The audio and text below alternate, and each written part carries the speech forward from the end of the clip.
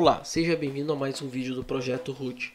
Eu sou o Diego Costa, administrador do projeto, e hoje veremos como configurar e utilizar o ISP-config. Então pessoal, até o vídeo passado, nós vimos a instalação do ISP-config. Então no primeiro vídeo eu mostrei a preparação do sistema, a instalação do ISP-config. No segundo vídeo nós vimos a instalação do PHP 7019 e a 715 como versões adicionais do PHP e nesse vídeo então nós vamos aprender a utilizar, a configurar o ISP-config e utilizar algumas funções do ISP-config. Novamente eu vou mostrar para vocês, temos um escopo apenas para exemplificar a utilização do ISP-config. Nesse escopo eu preciso montar um servidor onde uh, vai hospedar vários sites ou sistemas. Esse sistema tem que possuir um controle de usuários e clientes no caso, né? Os sites, os sistemas hospedados têm que ter suporte ao SSL, e-mail, backup, banco de dados, ser um sistema leve e de fácil administração e também poder executar configurações adicionais definidas para cada site ou sistema. Então aqui eu coloquei uh, para vocês apenas o seguinte: servidor está ok, tá? Apenas para a gente conseguir se localizar nesses vídeos. Então, nos dois vídeos anteriores eu mostrei como configurar o servidor com ISP-config. Então, caso não tenha visto, veja na playlist do projeto root, veja nos vídeos anteriores, o link vai estar na descrição deste vídeo, para vocês terem acesso diretamente aos primeiros dois vídeos sobre o WISP Config. Neste vídeo, nós vamos aprender um pouco mais sobre o WISP Config, nós vamos criar os usuários, Vamos criar sites para esses usuários e vamos então verificar se está funcionando. O que, que faltou agora a partir uh, desse vídeo nós fazermos? Então justamente o controle de usuários, que nós não temos, então por isso que eu coloquei aqui como um ponto de interrogação. Suporte ao SSL, e-mail, backup e banco de dados, também não configuramos. E algumas configurações adicionais caso precise também não colocamos. Aqui leve e fácil como eu não expliquei como ele funciona, então eu não posso determinar ainda se ele é leve e fácil. Tá? Na verdade, leve eu poderia justificar para vocês que é uma plataforma web bem enxuta, então seria leve, considerando o fato de que ele faz tudo isso daí, é uma plataforma leve. Agora fácil nós vamos descobrir se ela é. Tá? Então eu deixei como fonte também aqui diretamente o site do ISPConfig, então é ispconfig.org, para que vocês tenham mais aí informações sobre o ISPConfig. Lembrando que até então ele está na linguagem em inglês, então também nós vamos fazer o processo de tradução do ISPConfig. Na verdade, nós não vamos traduzir o ISPConfig, nós vamos apenas selecionar a linguagem do português brasileiro. Então ela já vem traduzida, já vem o pacote de tradução. Eu coloquei aqui também nesse arquivo um pouco mais sobre os menus. Eu não vou ficar lendo agora o TXT, eu vou mostrando para vocês, mas caso vocês queiram consultar, tem aqui o que mais ou menos cada menu faz dentro do ISP-config. Não vou ficar lendo aqui porque basicamente o que eu vou ler aqui eu vou mostrar para vocês lá no, no, no, painel do ISP-config. Então, caso vocês tenham alguma dúvida, tem aqui toda a especificação do que o menu faz eu vou apenas demonstrar lá para vocês. Então logo abaixo aqui desse TXT contém também os passos para criar os usuários, cadastrar e-mail, site, tudo mais. Então eu vou mostrar para vocês e aí vocês podem usar esse TXT como um guia de referência aí. E é claro que podem usar também o site do SpConfig, tá? Mas eu tentei sintetizar o máximo que eu consegui aqui para que vocês não se percam aí na hora de configurar o SpConfig. Então vamos lá.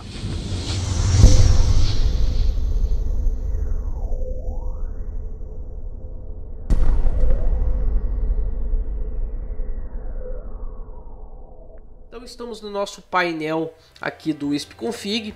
Então notem que ele está o pacote de linguagem em inglês, como é o padrão no processo de instalação.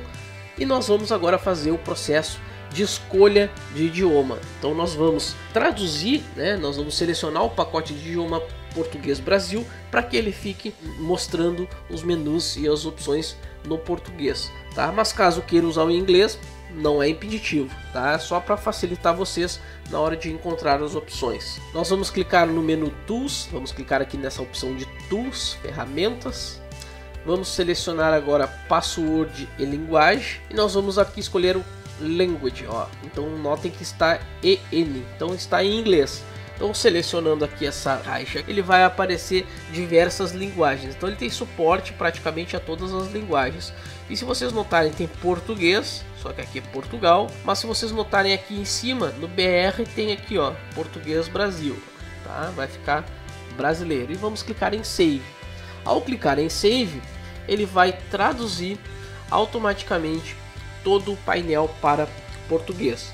Ó, notem que ele já trocou aqui para ferramentas. Ó. Os menus ainda não trocou. Está Monitor, Help, Tools, System, Client, Home.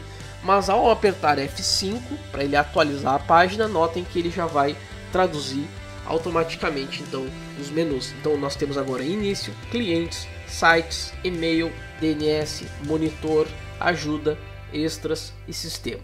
Então agora nós temos o nosso ISP-config falando então em português. Notem que agora ao clicar em início ele já mostrou então toda a página em português. É claro que nós não vamos fugir de ter opções como e-mails, não vai estar tá correio, né, mas está e-mails porque e-mails é uma palavra, né, já caiu no uso da linguagem brasileira. Então assim como outras Uh, informações aqui no caso de últimas notícias. Notem que uh, o menu de últimas notícias é em português, porém as notícias podem ser em inglês. Por quê? Porque ele está pegando lá do site lispconfig.org.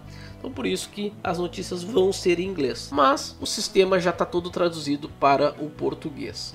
Feito isso, agora então nós podemos utilizar o nosso ISP-config como propriamente o nosso sistema para cadastrar os nossos clientes e sites para esses clientes. Então o primeiro passo que eu tenho que fazer, eu tenho que ter um cliente. Então eu vou clicar em client ou clientes nesse caso. E agora eu vou ter as opções dos meus clientes. Vamos separar essa etapa em duas partes. Tá? Imaginem como se a tela tivesse dividida ao meio. Então agora eu tenho o lado esquerdo da tela e eu tenho o lado direito da tela. No lado esquerdo da tela, de cada menu, eu vou ter um painel adicional. Então eu tenho aqui, ó, nesse lado esquerdo, eu tenho clientes, eu tenho editar cliente, adicionar cliente, revendas, eu tenho editar revenda, adicionar revenda, círculos, editar círculo, enviar e-mail, gabaritos, eu vou ter gabaritos de limites e e-mail templates. Então, eu tenho dentro dessa categoria de clientes, eu tenho ainda um submenu de clientes onde eu posso fazer diversas funções dentro da categoria de clientes. Então, se eu quisesse criar uma revenda de site, ao invés de eu cadastrar ele como um cliente apenas, eu posso cadastrar ele como uma revenda. Então, eu vou ter lá o meu desenvolvedor, que ele também quer vender sites, então eu vou adicionar ele como uma revenda. Eu vou começar com o mais básico. Caso vocês tenham dúvidas sobre uh, algum tipo de utilização, bote nos comentários, mande e-mail, que aí eu faço o laboratório aqui para vocês, tá? Mas a priori eu vou utilizar o básico. Então eu vou criar um cliente, para esse cliente eu vou criar um site e nesse site também eu vou criar um e-mail, tá? Então apenas para simular a utilização básica desse nosso ISP config com um cliente para utilização de site. Então, eu posso criar site sem ter cliente? Não, eu preciso ter um cliente associado a algum serviço. Então, a primeira coisa que você tem que fazer é ter um cliente. Mas se o cliente for tu mesmo, então te cadastra como cliente do teu próprio ISP config. Então essa é a solução, porque eu vou associar serviços a um cliente. Nesse caso aqui eu tenho clientes, lado esquerdo eu tenho submenus e no lado direito da tela eu tenho a opção de adicionar novo cliente. Então, ao clicar em adicionar novo cliente, eu vou adicionar um novo cliente. Se eu quisesse adicionar uma revenda, eu teria que vir aqui, adicionar uma revenda no lado esquerdo. Como eu falei, eu vou criar da maneira mais simples nesse vídeo. Então, adicionar novo cliente e aqui ele vai surgir uma tela, um cadastro, na verdade, ó, no lado direito do, do nosso menu, né, na nossa janela, tem um cadastro. Então eu posso preencher aqui a empresa, o título, contato, contato novamente, agora eu já vou explicar porquê. Então tem vários campos que eu preciso preencher. Notando que eu tenho os campos com asterisco, então contato aqui, diferente desse contato, tem asterisco. Também nome do usuário tem asterisco e e-mail também tem asterisco. Então, esses campos com asterisco eu preciso preencher. O resto é opcional. Mas eu afirmo para vocês aí que seria interessante vocês preencherem o cadastro o mais completo possível. Se é uma pessoa física e não tem empresa, não precisa cadastrar, não é uma empresa. Eu vou me cadastrar nesse sistema, então eu vou utilizar aqui título, é um senhor, o contato, nesse caso, não preciso preencher porque não tem asterisco. Por que, que tem dois contatos? Porque aqui é um contato do cadastro e aqui eu tenho um contato para administrar tudo. Então, por exemplo, se na minha empresa eu tenho contato técnico, por exemplo, eu poderia cadastrar ele como contato e o segundo contato eu poderia deixar como um contato administrativo, ou seja, aquele contato que pode fazer algum tipo de alteração de plano, alteração de serviço. E o contato de cima, o contato técnico, seria apenas aquela pessoa que vai ligar de repente, eventualmente, para o teu suporte ou para tua empresa para obter informações como DNS, como conta de e-mail, como algum tipo de suporte. Seria essas diferenças aqui desses dois tipos de contato. Um tem permissão para modificar alguma coisa, o outro apenas para visualizar alguma coisa. Isso aí é uma questão administrativa. Isso aí eu estou dando uma suposição que pudesse ser assim. Você aí vai determinar para que, que serve cada um desses contatos. Mas o importante saber é que esse contato aqui ele pode fazer alterações no teu sistema, no teu WISP config. Tá? O de cima não, o de cima ele não tem permissão acesso a nenhum tipo de painel. Então já esse aqui ele poderia acessar o nosso painel aqui e fazer modificações. Então no caso eu vou colocar aqui contato alguém e aqui eu vou botar o meu nome, Diego. Qual vai ser o nome do usuário? Agora eu já explico aquele código do cliente. Qual é o nome do usuário? Diego também. Não tem problema o contato ser o meu nome de usuário. Esse código do cliente que está aqui vai determinar na hora de criar os serviços quais serviços são de quem. Então lembrem, ó, C1, C vem de cliente e 1 vem o número 1. É como se fosse a identificação do cliente.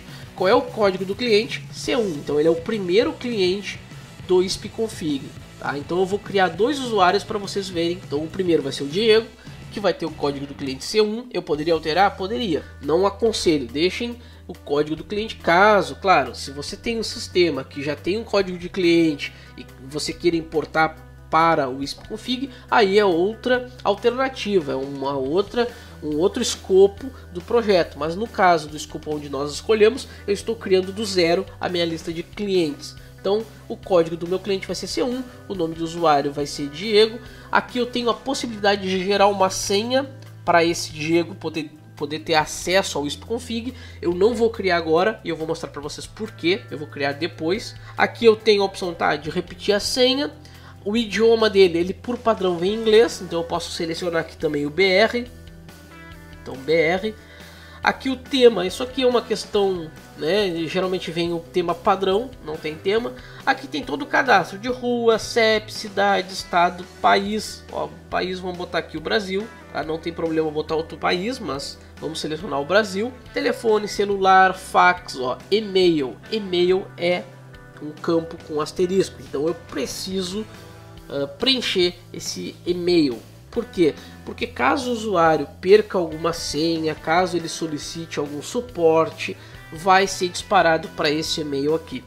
Diego Costa, projetoroot.com.br o resto aqui, internet, ICQ, ó, na, na, na, época do ICQ ainda, ó, uh, VAT ID, então tem vários, ó, até código do banco que se quiser fazer uh, aqueles sistemas de, de billing, né, de, de cobrança. Então o Config tem módulos para isso, não vem por padrão, mas tu pode adquirir no site lá eles vendem, tá? O Config ele vem o padrão gratuito e tem módulos adicionais aí que tem algum custo, tá? Então dá uma olhadinha ali no site do Config que tu vai ter todo essa esse suporte aí. Feito isso aqui, ó, cadastrado por quem? Aqui eu posso botar quem é que cadastrou. Se não foi o admin, no caso foi, tá? eu poderia colocar o nome do usuário que cadastrou o nosso cliente Diego. Mas nesse caso aqui foi o admin que cadastrou e tá ali uh, cadastrado por admin. notas. Eu posso ainda colocar um, uma referência aqui, ó, cliente uh, cadastrado pelo admin. Eu posso colocar uma nota aqui uh, para testes da infraestrutura ou cliente com 30 dias gratuito ou cliente foi indicado por algum colaborador. Então eu posso colocar um, um, uma anotação aqui que eu queira, tá? Então eu tenho essa opção aqui. Logo abaixo eu tenho aqui bloqueado, ó, web desabilitado. Então se eu marcar essa opção aqui, esse cliente ele não vai ter acesso ao painel do ISP, do ISP Config. Se eu deixar desmarcado, ele pode ter acesso. E aqui eu tenho a opção de cancelado, acesso do cliente desabilitado. Então, por exemplo, se eu trabalhar com revenda, por exemplo, se o cliente não fez o pagamento, eu posso vir aqui apenas e marcar essa opção e o cliente passa a não poder mais acessar o, o painel do SPConfig e também os sites, os e-mails dele também não vão mais funcionar. Tá? Então eu posso bloquear o acesso do nosso cliente através dessa opção aqui. Feito esse processo, eu também tenho aqui em cima os limites, ó. Então, em limites, eu posso ainda cadastrar um gabarito. Então, ele está aqui personalizado. Ó, então, eu tenho alguns gabaritos personalizados aqui. Se eu não tiver, eu posso adicionar um gabarito personalizado. No caso, que como eu fiz a instalação, ele vem zerado, ó, não vem nenhum gabarito. Mas eu poderia adicionar um gabarito personalizado. E o que, que é esse gabarito? Esse gabarito, na verdade, é um template, um perfil padrão para que eu possa aplicar aquilo ali para diversos clientes, ou no caso aqui eu posso personalizar para cada um deles. Então nesse caso eu tenho complementos ativos, eu não tenho ó, é cliente de revenda, não tem nenhuma revenda. Se é revenda eu marco uma revenda, se não for não é, né, no caso como não é, é apenas um cliente, eu não vou marcar nada aqui, tá? Nenhum. Aqui ó, limites de web, servidores web. Se eu tiver mais de um servidor do WISP config, eu posso dizer quais os nomes deles aqui. Caso eu só tenha um WISP, né? No caso que é o nome que nós demos aí na instalação para o nosso servidor. Limite de domínios de site. Menos um significa que ele não tem limite. Nesse caso aqui eu estou dizendo que ele não tem limite para domínio de site, então ele pode ter quantos sites ele quiser. Cota de site, então ele não tem uma cota, então o site dele pode usar o servidor inteiro. Cota de tráfego, ele também não tem uma cota de tráfego, então ele, ele pode utilizar o mês inteiro sem perder acesso ao site ou ao sistema dele. Então se eu quisesse cadastrar cotas, eu poderia colocar em megabytes, então tá MB aqui. Se eu quisesse colocar uma cota de site para 500 mega, ó, então boto 500 mega. Então o site dele não pode ter mais de 500 mega. Ah, mas ele vai ter 1 giga, então eu posso botar 1024 mega. Ah, então eu tenho que informar aqui o valor em megabytes. Então se eu quiser deixar ele sem limite, é menos 1, tá? Aqui as opções de PHP. Então para esse cliente ele vai poder utilizar a opção de desabilitado. Então se ele quiser desabilitar o PHP, pode desabilitar. Fast CGI, CGI, Mod PHP, SUPHP, PHP FPM e HHVM. Então, se eu desmarcar uma opção, por exemplo, se eu desmarcar a opção desabilitado, ele não vai poder desabilitar o PHP. Se eu deixar ele marcado, eu estou informando que o usuário pode sim uh, desativar o PHP caso ache necessário. Essa opção aqui marcada significa que o usuário tem permissão de executar aquela opção que está ao lado. Caso eu queira permitir apenas o HHVM para o meu cliente, eu vou desmarcar todas e aí ele só vai poder acessar o HHVM. Caso contrário, ele não vai poder trocar, não vai poder desabilitar o PHP e também não vai poder escolher o PHP FPM. Poderia ser esse cliente poderia fazer isso aí, mas no caso aqui eu vou selecionar tudo para que ele possa fazer qualquer uma das opções. Também, ó, ele vai, vai poder mexer no CGI. No caso, eu não preciso deixar esse cliente com acesso ao CGI, então está desmarcado. Ó. Apenas forçar su exec, caso eu queira. Então todas as opções aqui eu posso marcar ou desmarcar para o cliente. Ele vai ter disponível o SSL, eu posso marcar aqui também, se ele vai poder utilizar o SSL, o Let's Encrypt no caso. Então eu posso utilizar qualquer outro SSL ou eu posso utilizar outro SSL e também o Let's Encrypt. E aqui também os limites de apelido de domínio, limites de subdomínio, limite de usuário FTP, então limite de usuário shell zero.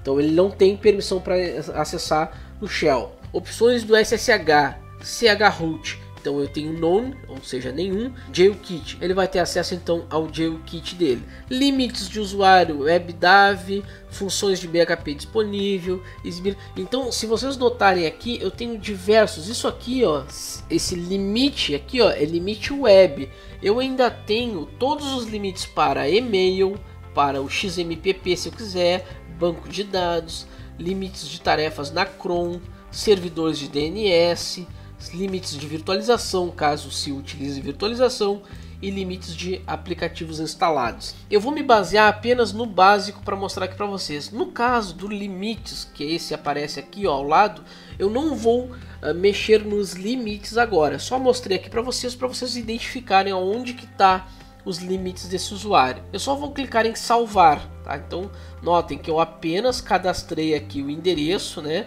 O nosso cliente, eu cadastrei ele aqui e eu vou clicar em salvar. Feito isso, ele já aplicou um cliente lá para o meu ISP-config. Então agora notem que naquela mesma tela onde eu tenho os meus clientes, eu tenho aqui o meu ID1, o meu contato é Diego. Ó, notem que a empresa não tem, não é uma empresa mas o contato é o Diego. O código do cliente é C1, usuário é Diego, a cidade eu não preenchi, mas o país é Brasil. Então, se eu clicar tanto no código do cliente, que é C1, quanto no contato, quanto no usuário, ele vai me abrir novamente o cadastro do cliente. Então, tá aqui, ó. Tá aqui o cadastro do cliente, eu consigo agora personalizar, editar e posteriormente, se eu quiser modificar alguma coisa, eu posso clicar em salvar novamente. Agora que nós já criamos um cliente, eu vou criar o segundo cliente agora. Notem que esse cliente que eu criei, eu não coloquei uma senha. Uma senha, não tem senha aqui. Vou clicar em adicionar cliente e vou preencher. Notem que ele já alterou aqui, ó, já está C2. Título, senhor. Contato eu não vou colocar. O cliente vai ser Diego Costa. O código do cliente vai ser C2 o nome do usuário vai ser Diego Costa. Só que agora eu vou gerar uma senha. Então eu vou gerar aqui, eu posso clicar em gerar senha. Ele já vai gerar uma senha forte. Se eu não gostar, eu clico novamente. Ele vai começar a criar diversas senhas. Ó. Ou eu posso simplesmente digitar aqui uma senha. Por exemplo, eu vou digitar uma senha bem fraca que vocês saibam acessar aí. 1, 2, 3, 4, 5, 6. Tá? Então, ó, aqui está dizendo que é muito curta. 1, 2, 3, 4, 5, 6. As senhas coincidem, então eu vou selecionar idioma. Então vamos botar o BR. Vou colocar aqui o país Brasil para cadastrar ele no Brasil. O e-mail, vou botar aqui agora, vou botar até o mesmo e-mail, diegocosta@projetoboot.com.br e vou clicar em salvar. Não vou mexer em mais nada. Vamos ver, ó. A senha escolhida não corresponde a diretrizes de segurança, são necessários no mínimo 8 caracteres e dificuldade boa. Então ele não permitiu com aquela senha fraca. Eu vou botar assim, ó, arroba 1, 2, 3, 4, 5, 6, 7, 8, arroba. Só para modificar. Então, arroba 1, 2, 3, 4, 5, 6, 7, 8, arroba. Feito isso, eu vou clicar agora novamente em salvar. Ó agora ele criou. Então notem que eu tenho o meu ID número 2, sem empresa também. O contato é Diego Costa, o código do cliente é C2, o usuário é Diego Costa e ele está na, no país Brasil. O que, que eu posso fazer com isso agora? Bom, eu vou clicar em sair do admin e vou agora tentar logar com o Diego. Cadastrei senha? Não. Então eu vou clicar em login. Ó, o password não pode ser vazio. Então ele está dizendo que tem que ter de 1 a 256 caracteres. Então tá, então eu vou botar Diego e o caractere 1.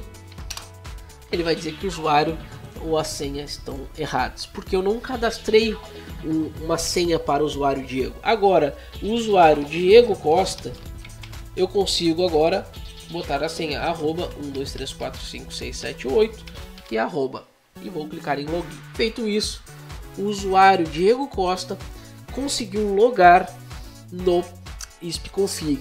Então dessa maneira, notem que eu consigo agora deixar o usuário Diego Costa logar no meu sistema. Vocês notaram alguma diferença básica já do ISP-config? Primeiro ele vem em português, né? diferente do admin que nós vimos que quando eu loguei a primeira vez veio em inglês.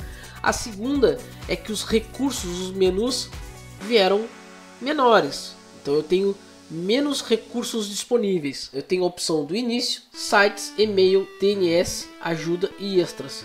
Cadê a opção de clientes aqui? Não tem. Cadê a opção de sistema? Não tem. Então, o usuário Diego Costa, ele não é um admin, então ele só pode mexer no que diz respeito a ele, então ele não pode criar clientes, ele só pode mexer na, na, na conta de domínio dele. DNS também, claro que nós não configuramos nada aqui, mas só estou mostrando para vocês. E ajuda também, ele pode aqui, inclusive mandar uma mensagem para o suporte do SPConfig. Então, né, no caso, para o administrador do SPConfig da tua empresa. Tá? Então, seria aí como um sistema de ticket. Você pode utilizar por aqui também. E extras, ele te dá a opção de senha e idioma e a interface. Então notem que agora com esse usuário aqui eu consigo uh, mexer, eu consigo alterar apenas o que diz respeito ao meu cadastro. Por isso que eu mostrei para vocês um usuário sem senha e outro usuário com senha. Então se eu entrar agora novamente aqui com a senha do administrador, eu consigo então acessar todo o ISP config completo. Essa é a primeira etapa aí dos cadastros que eu queria mostrar para vocês. A questão de cliente com acesso ao painel e a questão de cliente sem o acesso ao painel. Então isso vai diferenciar pela senha ali. Ah, e uma coisa, como eu falei para vocês agora, bloqueado ou web desabilitado. Então se eu clicar aqui bloquear, olha só o que vai acontecer agora. Alterei o Diego Costa, tá? Então notem que eu vim aqui no Diego Costa e cliquei ali em desabilitado, ó. Bloqueio ao web desabilitado. Beleza. Agora, se eu tentar logar novamente com o usuário Diego Costa, Diego Costa, vou botar assim, arroba 1, 2, 3, 4, 5, 6, 7, 8, arroba. Ele acessou aqui, porém, eu não consigo agora, no caso, como eu tenho, não tenho o website ainda criado, ele vai deixar eu acessar apenas o painel, ó. mas se eu tivesse um site cadastrado, ele não estaria funcionando. Então, se eu entrar agora com a senha do administrador, ir em clientes, trocar para Diego Costa aqui, colocar cancelado, acesso do cliente desabilitado. Nesse caso aqui eu vou cancelar a página do cliente, então desabilita aqui, ó, desmarca, para deixar a, a, página dele funcionando, o site dele.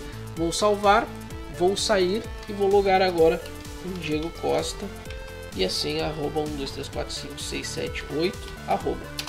Ó, notem que agora a mensagem é usuário está bloqueado. Por quê? Porque eu não estou permitindo mais que o usuário acesse o painel administrativo. Então, qual a diferença de um para outro? Assim, eu bloqueio o cliente dele usar o ISP config e da outra maneira eu bloqueio o site dele de funcionar. Então, deixa eu logar novamente, admin com a senha do administrador e ele vai voltar a funcionar. Então agora que nós cadastramos o cliente, nós vamos cadastrar sites para esses clientes.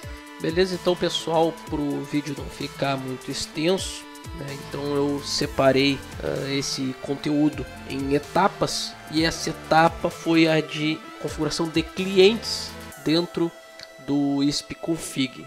Então no próximo vídeo nós vamos ver a parte de sites, então nós vamos configurar um site para esses clientes que nós acabamos de criar no ISP Config e fazer então as suas devidas configurações, tá ok gente? Eu gostaria de ter colocado tudo num vídeo só, mas o vídeo fica muito extenso, tá? Embora é, não é tão complicado de se fazer a utilização desse config, mas comentando em detalhes acaba ficando um conteúdo bem extenso. Eu separei o conteúdo desse vídeo em etapas, essa foi a etapa de clientes, na próxima etapa então será a etapa de sites.